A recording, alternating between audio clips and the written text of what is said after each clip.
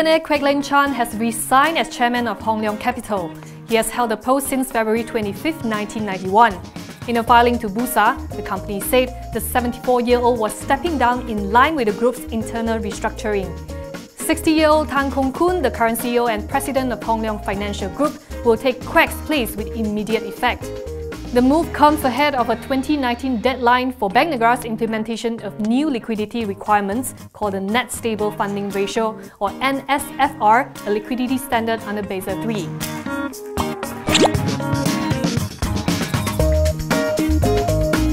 PM Najib has reportedly hinted that the upcoming general polls will likely be called before Hajj season starts in July. According to local media reports, the Prime Minister said this after handing over offer letters to over 1,000 pilgrims scheduled to perform the Hajj this year. The pilgrimage was organized as part of the PM's special Hajj program and sponsored by Yayasan 1MDB. Najib also defended the state fund today, saying people should not be overly critical of it and overlook its benefits. He says it's slander to say that 42 billion ringgit was siphoned off, that the figure is just debt which can be settled via the sale of its assets. Over 5,000 pilgrims have been sent to perform the Hajj under the 1MDB sponsorship program since 2011.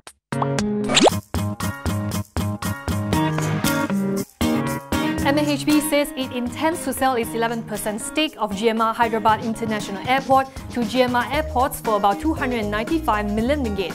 The two parties entered into a share purchase agreement today. Through this disposal, MAHB expects to gain about 255 million ringgit, which will increase the EPS for this year by 15.38 cents. This compared with the total cost of investment of 40.2 million ringgit made in 2002. MAHB says that the proposed disposal provides an opportunity for the group to unlock its investment at an attractive value.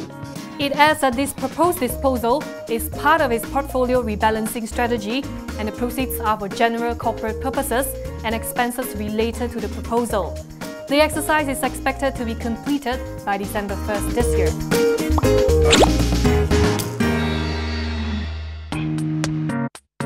AirAsia X is said to be looking to buy Boeing 787s to expand its fleet. The AirAsia Group, which has already ordered A330s and A350s, has been exclusively linked to Airbus planes. But according to Reuters, industry experts say Boeing 787s could fit into its long-haul operations. Quoting AirAsia Group chief Tony Fernandes, the report says the group is also keen to buy more of the Airbus A321neo long-range jets after purchasing 100 of them. As he says AAX will certainly need more jets going forward. Last month, Fernandes said the group wants to add about 30 jets to its airline affiliates across Asia this year due to strong demand growth.